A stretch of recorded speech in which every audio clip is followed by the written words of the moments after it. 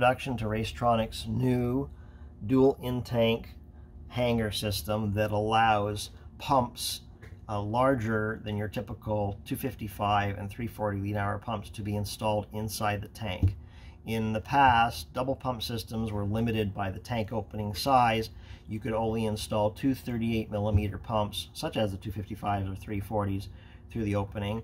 Uh, this system allows for two larger bodied pumps like the Walbro 274, which is known in the industry as the 450, uh, or the Hellcat 285, uh, which is also known as the 525, to be installed um, in the tank. The modular design of this hanger allows each individual pump to be installed through the opening in stages and then everything locks in place quite easily, uh, allowing it to be assembled from actually outside the tank. Um, the performance uh, is greatly improved because we have a custom six position bulkhead connector that's vapor proof. It doesn't allow vapors to escape or fuel from the tank.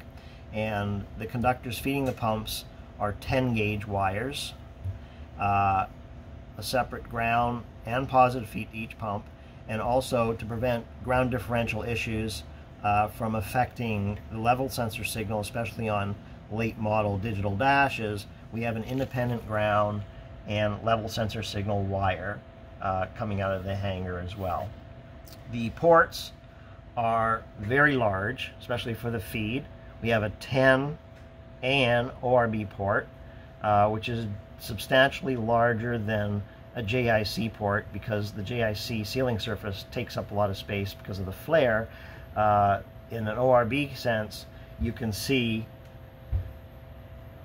that it uses an, an O-ring on the outside to seal, so the inside diameter is considerably larger, uh, and you can see it actually tapers down for a JIC.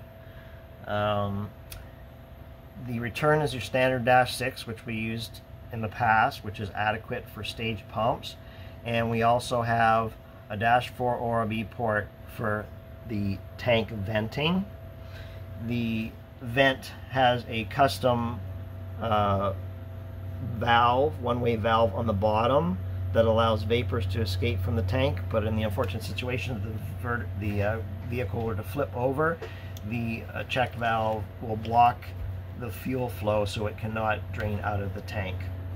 Um, the pumps uh, each have their own individual mounts as you can see here on this side. Pump 1 and pump 2 and all this bracketry interlocks and mounts on this stem which acts as a return line. The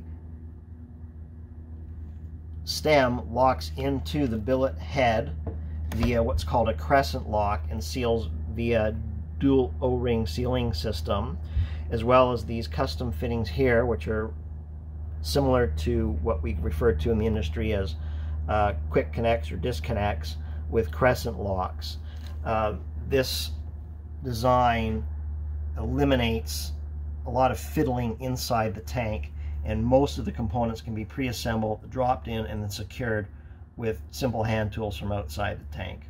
The Racetronix hanger, uh, when it's equipped with these Walbro 285 uh, or 525 pumps, otherwise known as the Hellcat pumps, uh, can support upwards of 1600 horsepower um, with the proper uh, lines in the car. Uh, typically for maximum performance, we'd want to see a dash 10 PTFE feed line and a minimum dash 6 return line. Uh, the pumps are staged so that the secondary pump can be turned on either with a pressure switch controlled uh, by our wiring harness or if you have an aftermarket PCM that has a secondary output control for a pump, uh, you could use that as well. Uh, the output configuration of this can be handled in many different ways. Right now you can see we have a dash 10 ORB to dash 10 JIC adapter, which people tend to slang in slang refer to as a J, uh, sorry, uh, AN fittings um, with a 37 degree flare. Um, this is a dash 6 adapter to go to dash 6 uh, JIC. And this is a dash 4 adapter for the vent line, which we include uh, with the hanger as standard because this line is typically factory uh, rubber hose. It doesn't have to be PTFE, it's just for vapors. Uh, and we include a dash 4 uh, JIC female uh, rubber push lock hose fitting on there. Um, if you currently own uh, a Racetronix B3 line kit with the quick disconnect fittings on it, you can purchase the fittings that will convert it to quick connect. And on our B3 kits and our old hangers, the return line is a 5 16th, 5 16ths uh, quick disconnect or quick connect as they call it. And the feed line to the motor is typically 3 8 uh, quick disconnect and this this adapter here converts the dash 10 ORB to the 3 8 and the dash 6 uh, to 5 16 quick connect. We will also have uh, a version later on that will allow us to go from a dash 10 ORB to half inch quick disconnect. Before we can get started on the installation, we have to remove certain components uh, to make sure they don't get damaged during the installation process. Uh, the first thing you want to do is if you've actually screwed any fittings into this thing, you definitely want to remove them uh, because if you scratch the surface of the Quick Connects or the JIC, uh, it'll cause a leak. So remove those. You'll also want to remove the intermediate pump harness which connects the hanger to the double pump hot wire harness. And the way you do that is you make sure this red lock is pulled out. You can see it slides back and forth, it's pulled out. You press down on the latch on the back side and slide it out. You'll also want to make careful note of the position of the pumps and the level sensor and the way it's rotated on the shaft relative to the discharge ports. must be aligned in this fashion and the hoses must be routed in these locations to prevent interference with the level sensor in the tank and also to make it easier to install. Before we get started with the disassembly of the hanger, we want to give a brief explanation as to why the positioning has to be the way it is. This is a factory tank with the plastic baffling in Racetronix's opinion, it is still the best tank on the market uh, for this application.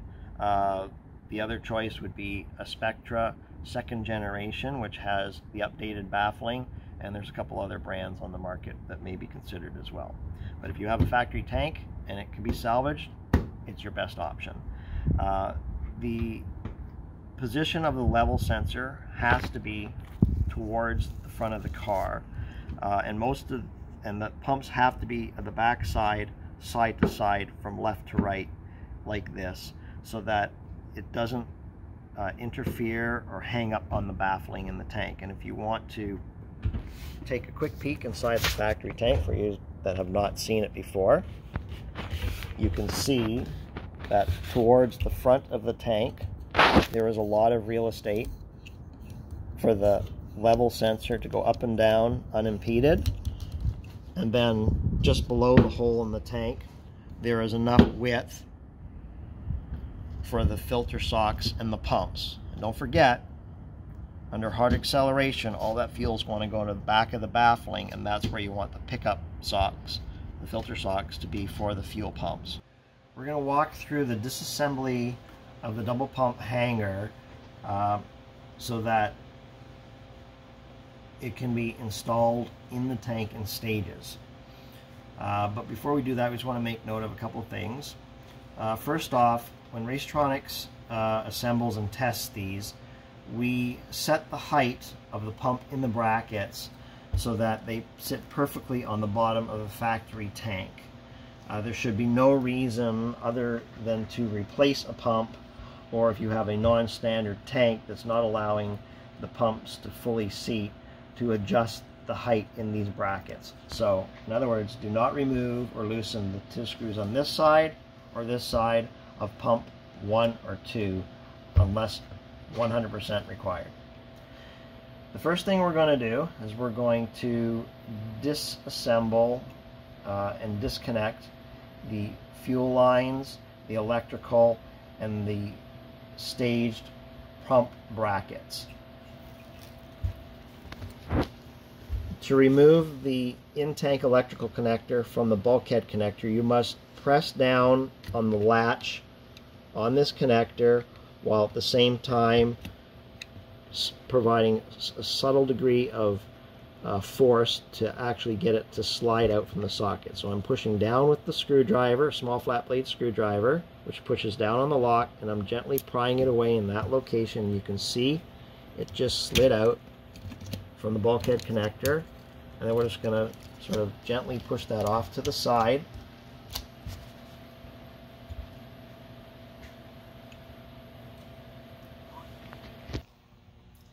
The next thing we have to do is to loosen the extended crescent lock that's around the mounting slash return shaft on the hanger. And we use a 5 8 wrench and put that around the crescent lock to loosen it and it will unscrew.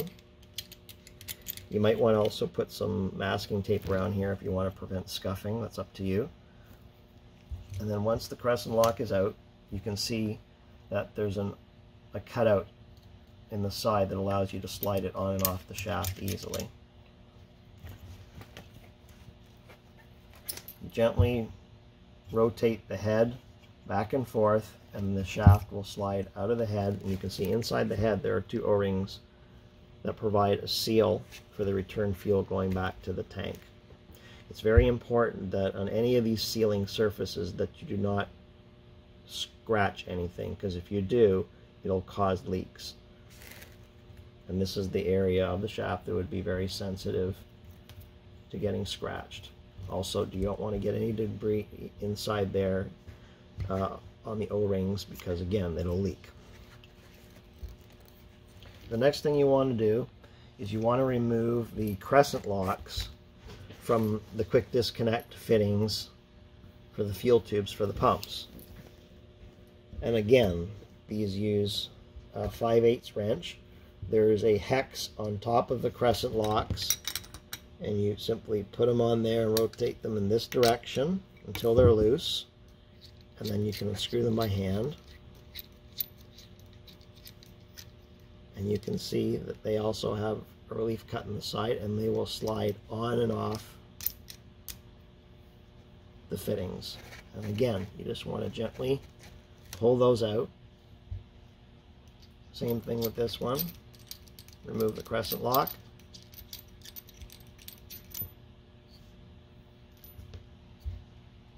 and remove the quick disconnect fitting.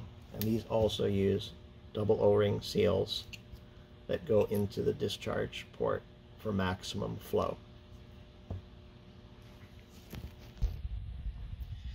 To prevent damage to the level sensor while we're working on this, it's probably a good idea to actually remove the arm. And it very simply clips in over here and what you can do is you can take, again, a small flat blade screwdriver and then insert from the side underneath the arm. Okay, be careful not to break the plastic clips. And it has to be in this position so the shaft can come out. You cannot remove the shaft if it's up in the up or down position because the metal doesn't have the relief here. That's it. The next part you want to remove is the screw holding the level sensor bracket onto the dowel pins. So we use a 3 millimeter Allen head wrench.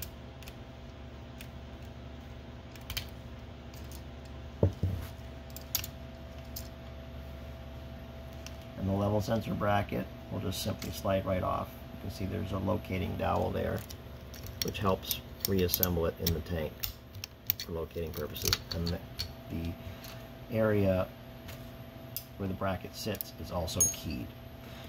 And finally, the last stage here is you want to loosen the return mounting shaft which will allow you to separate the two pumps for assembly inside the tank. And for that, we need a 3 8 wrench, open end wrench.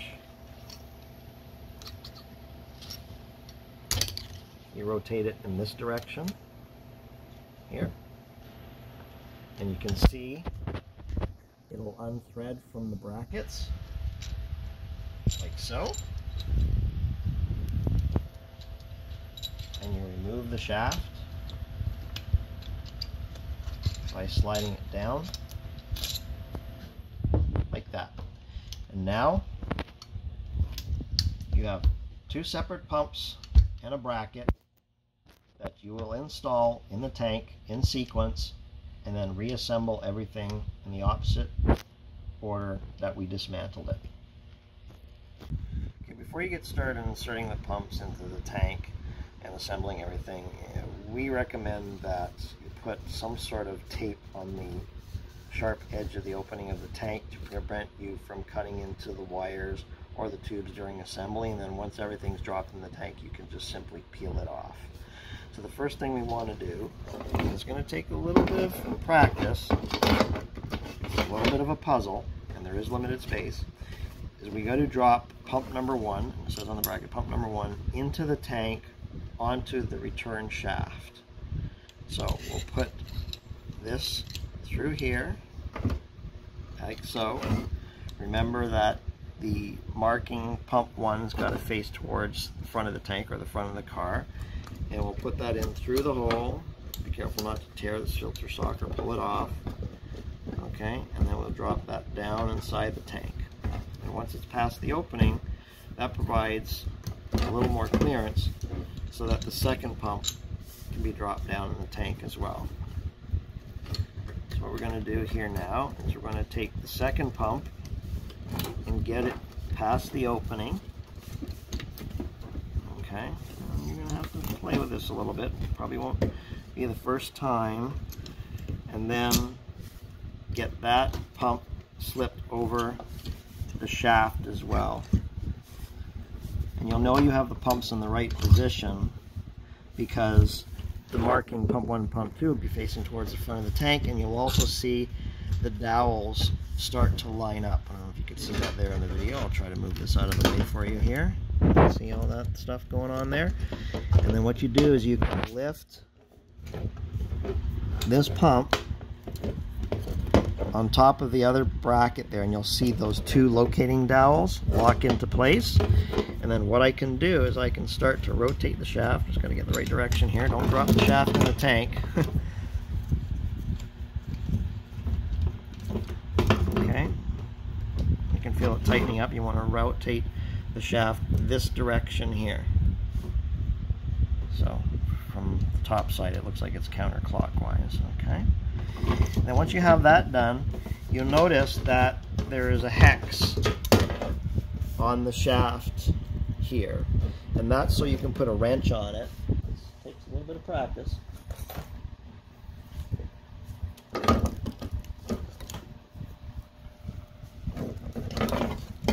You can grab this whole assembly here. Sorry, I was going the wrong way. And you rotate it in this direction. You can hold the tops of the pumps. I'm holding them with my fingers here. remember, you know, this tape is definitely helping us here so we don't scuff these wires. You don't want any shorts. We just give it a, a good nudge there. Okay. And that's allowing the two brackets to stay together. Look at that. Isn't that amazing, guys? Now, the next thing you want to do, this sometimes takes a bit of playing around with as well. Just give me one second here. The next thing you want to do is put the level sensor arm back on the level sensor. This was the float. And you can see, it slides in like so, and it just locks in place. That's it. Make sure when you're working with these wires here, they are fairly small and delicate, so you don't want to keep bending them back and forth too many times because you could break them off, and then you know you're going to have to repair that. Um, as you can see, uh, the level sensor bracket has special keying and it also has a dowel locator pin uh, on the pump brackets, if you remember when you took this thing apart. Um, and before you even drop this in the tank, one thing I will mention to you is the screw that we use to uh, secure this is stainless steel and it does not have magnetic properties. Um, so what I've found is that if you put a piece of tape on top of the tip of the four millimeter, or sorry, three millimeter um, hex wrench or Allen wrench, uh, it'll go a long way to actually holding it in place until you have it screwed in so you don't end up dropping it in the tank and having to fish it out. So what we're going to do is we're going to use the fuel tubes or the bracket here. I find holding the tubes keeps them out of the way actually. And we can actually take the level sensor and drop it into the tank. I don't know if the camera can pick this up yet or not. And you will see sorry, just bear with me a second here. You will see the level sensor bracket. You can raise it up a bit if you have to. I'll play with it a little bit. In place. Some people prefer to put the arm on afterwards. That's that's an option as well, but then you'll need some long nose. Okay, as you can see, I have the level sensor bracket on the first dowel pin there. And all you have to do is rotate the bracket in place. You can see a little bit better there on the video over here. The screw hole, make sure it's lined up. Put the screw in the hole.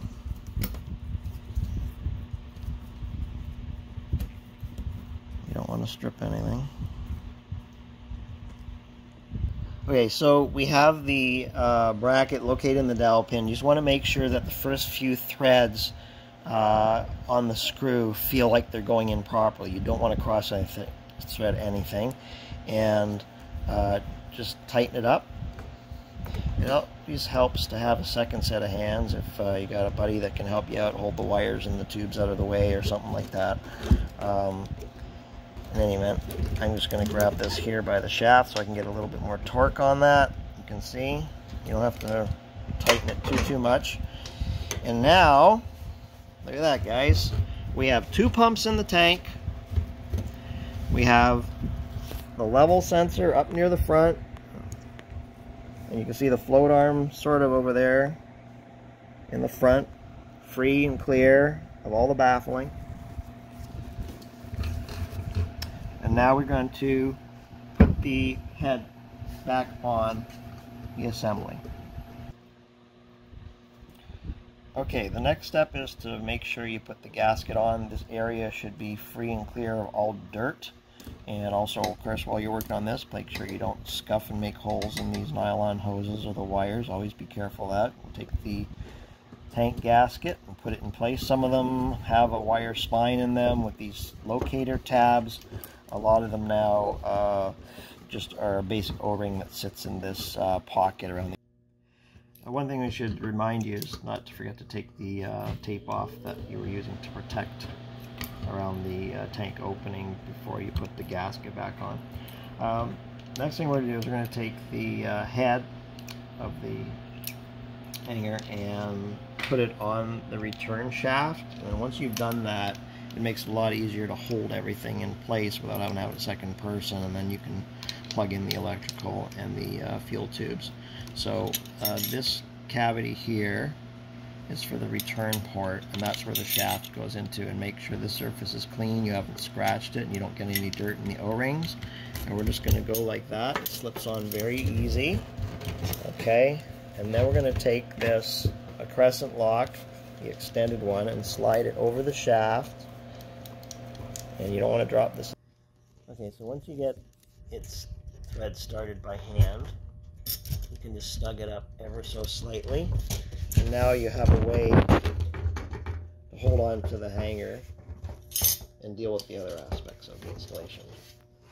The next thing I recommend you do is you take the electrical connector and you plug it into the bulkhead. You can see the lock is facing this way, which is away from here. And we go like this. And you hear it go click, and it locks in place. After you have the electrical uh, connector plugged into the bulkhead, uh, we're going to plug in the uh, fittings for pump 1 and pump 2 to the head. And what we'll first do here is we're going to loop it around this way and the, there's a port underneath that's on the front. Always make sure that you haven't scratched this or any dirt on anything because you definitely don't want to compromise the seal. And you just wiggle it around there first port and it just slides right in and then we can do the same thing on the other side like so you won't have to, you know, persuade these tubes to sort of loop down and around like the, the way they were outside the tank, sort of relaxed. And that's why we're not tightening these up right away, because we want these to be able to swivel. Okay, so those are both in now. What we're going to do is take these crescent locks and put them in place. Uh, remember, don't drop these in the tank. So we fishing them out again. All right, you just slip it around there might take a little bit of doing to get them locked or started, the thread started. Just have patience. And then we're going to put the second one on for pump number two.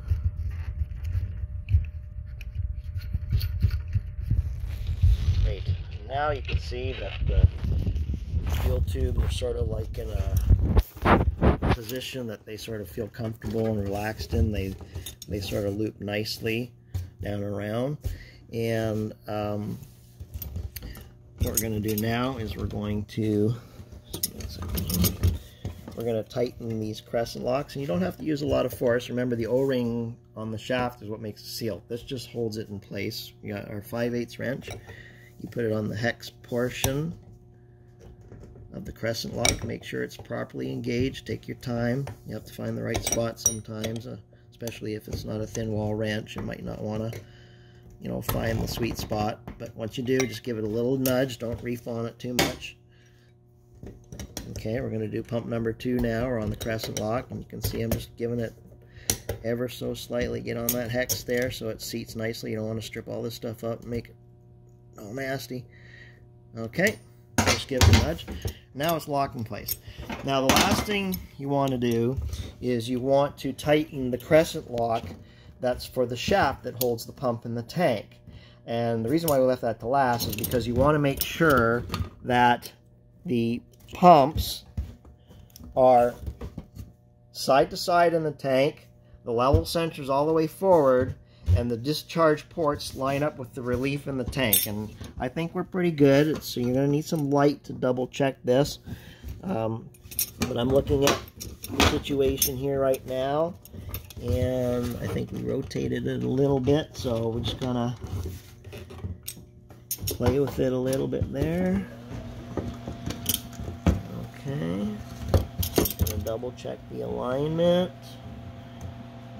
Make sure everything's good and then once you're satisfied you can grab the 5 8 wrench again put it around the crescent lock for the uh, shaft here and rotate it in this direction.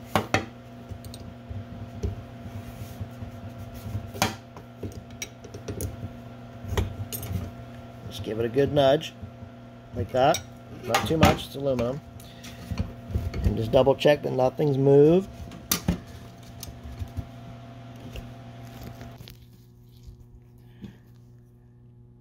Now that we have the hanger installed, and we replaced the lock ring, you'll notice that the locator tabs for the aluminum head should be in these channels here. You can see one here and one here. They should not be rotated elsewhere because that'll misalign everything inside the tank. The next thing we're going to do is put the fittings back in. Now, depending on the type of lines you have in your car, you can have a, a various adapter fittings to screw into this head. Um, most customers would probably have the Racetronix B3 line kits, and as I explained before, those are going to use 3 8 and 5 16 uh, quick connect adapters. The vent is always going to be a dash 4 ORB to dash 4 JIC, and we will supply um, a push lock dash 4 JIC female fitting to put on. Um, other people may have our old B2 line kits before we went to the quick uh, connect type, and in that case you'll want to be using ORB to male JIC adapters. Uh, this one here is a dash 10. We're not going to be using that uh, for purpose of this discussion because that's going to be for an upcoming line upgrade. Uh, most customers with the B2 line kits will be using uh, dash 10 ORB to dash 8 JIC adapter for the feed and a dash 6 ORB uh, to dash 6 JIC male for the return. Um, this is a little bit smaller than port, however, this is still way more flow than anybody would need for horsepowers well exceeding 1400. When installing the fittings, it's a lot easier if you start with the largest fitting and tighten it and work your way to the smallest fitting. Um, don't over tighten these. They rely on O-rings to seal, so just make them snug. You don't want to be stripping anything. Uh, if you want to keep your fittings looking nice and pretty, we recommend a set of aluminum uh, fitting wrenches. They prevent scuffing of the aluminum fittings.